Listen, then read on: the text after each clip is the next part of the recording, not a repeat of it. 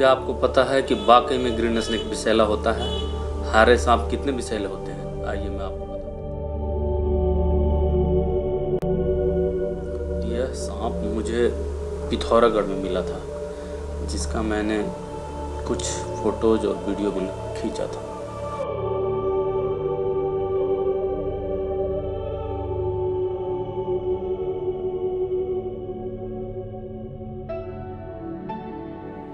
इसके बारे में मैंने काफ़ी जानकारी इकट्ठा की और मुझे पता चला कि ऐसे सांप को क्रिसोपीली पीलिया बोलते हैं। ये दक्षिणी पूर्वी एशिया, चीन, भारत, श्रीलंका में पाए जाते हैं और ये बहुत कम विषैले होते हैं।